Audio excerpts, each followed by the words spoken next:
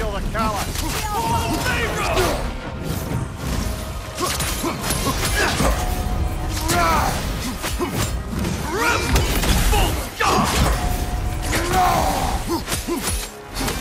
Fall before me! Diablo!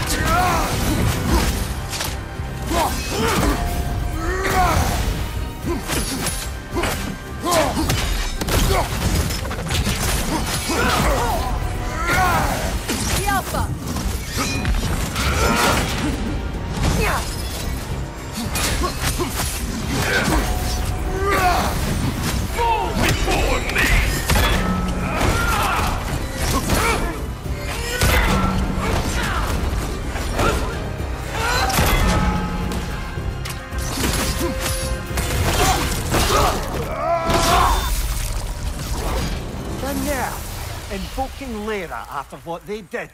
Lyra. I've never heard of it.